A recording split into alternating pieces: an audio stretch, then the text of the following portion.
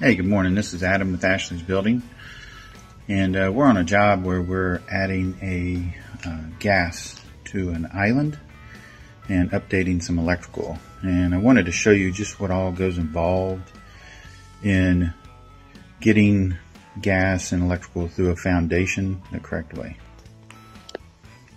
So what we've got here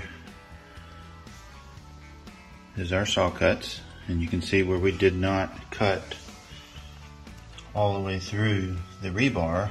We scored the cut and we jackhammered out the rest.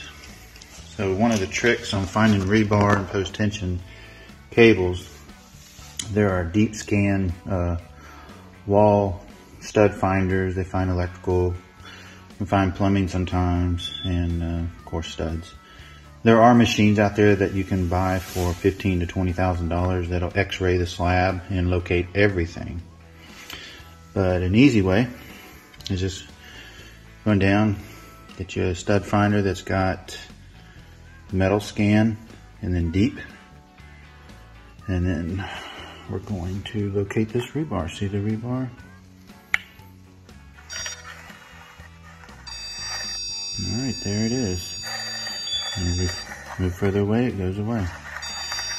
So I can get it within three or four inches. Let's go over here.